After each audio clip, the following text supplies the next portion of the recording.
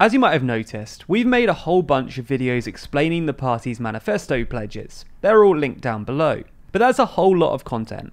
So we're going through the process of making videos comparing the parties on issues that are important to you. Today we're going to be taking a look at the party's different Brexit policies, as listed in their manifestos, in order of Brexitness. For simplicity's sake, we're only going to consider the Conservatives, Labour, Lib Dems, the SNP, Plaid Cymru, the Greens, and the Brexit Party. Before we do that though, we're running a competition on our Instagram. We've posted all five main party manifestos on our story, and we want you to share the story or stories that most accurately reflect your views. We'll then randomly select one person who shares the story and send them a complete Season 1 pin badge set and an out of stock golden UK pin. Entries close in 24 hours when the stories come down from our Instagram, and there's a link to that down below.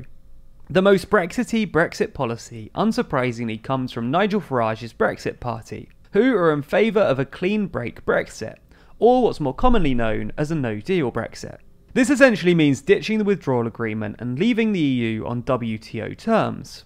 According to the Brexit Party, this is the only way to guarantee a substantial exit from the EU. The withdrawal agreement as it stands keeps the UK in the EU's regulatory zone, and during the transition period, it keeps the UK under the jurisdiction of the European Court of Justice. However, remember that the Brexit Party agreed not to fight the Conservatives in their incumbent seats this election. By doing so, the party have sort of tacitly admitted that while it's not their preferred option, Johnson's deal just about counts as an acceptable Brexit to them.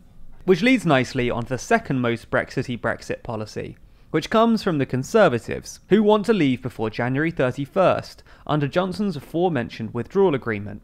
According to Johnson, the withdrawal agreement means that the UK will technically have left the EU by January, and he says that he doesn't plan on extending the transition period beyond the current deadline of December 2020.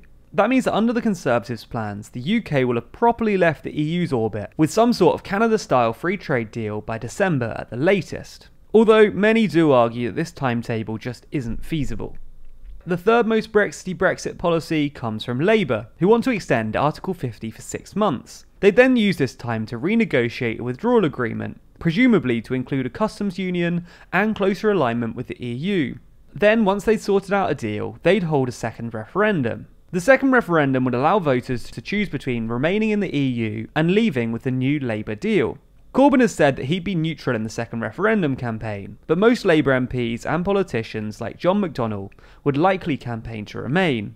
The SNP, Plaid Cymru and Greens have a similarly Brexity Brexit policy, and this is to go straight for a second referendum, in which they would all campaign to remain. In her Andrew Neil interview, the SNP's leader, Nicola Sturgeon, actually seems to suggest that the SNP would support a second referendum bill even if Labour didn't guarantee them a second Scottish referendum in return. All of these parties also support revoking Article 50 against a no deal Brexit. This just leaves the Lib Dems, who have the least Brexity Brexit policy of all of the parties. The Lib Dems and Jo Swinson have notoriously committed to straight up revoking Article 50 if they win a majority, this is a pretty interesting policy, because baked into it is an implicit claim that a general election victory trumps the referendum result in democracy points. Even though you can win a general election with way less than 50% of the vote, in retrospect, this policy might not have been the best move for the Lib Dems, as it seems to have hurt their poll ratings, and let's be honest, no one thought that the Lib Dems were going to get the majority to enact the plan anyway.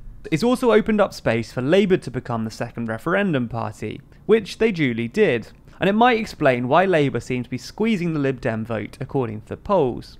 It's possible that the Lib Dems originally intended it as a negotiating stance for coalition talks. They could then demand a second referendum from Labour and claim that they compromised from their original position. Anyway, whatever the thinking behind it, according to their manifesto, the Lib Dems' policy is to revoke Article 50 if they win a majority, which, sorry Lib Dems, is pretty safe to say won't happen which means they'll probably have to settle for supporting a second referendum. Where on this spectrum of Brexitiness do you fall? Which party best reflects your views? Comment down below to let us know. If you want to be updated when we release more manifesto comparisons and election coverage, please subscribe to the channel. You can also hit the bell icon if you want to be notified every time we release a video.